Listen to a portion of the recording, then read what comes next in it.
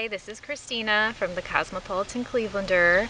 I wanted to tell you guys about a new line from Crocs. It's called their translucent line and when I first saw it I didn't even think they were Crocs because they are so cute. Um, they remind me a lot of the jellies I used to wear when I was younger but they are much more comfortable. The rubber is much softer. The sole of the shoes has much more cushion and support. Um, so they are perfect for walking around or you can dress them up and go out.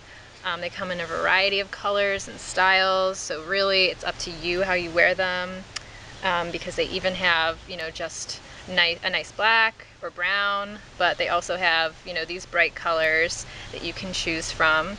So we took the Crocs to Banyan Tree in Tremont, Ohio, and we styled some really cute summer outfits and I think it turned out really well with the bright colors for summer and the bright Crocs.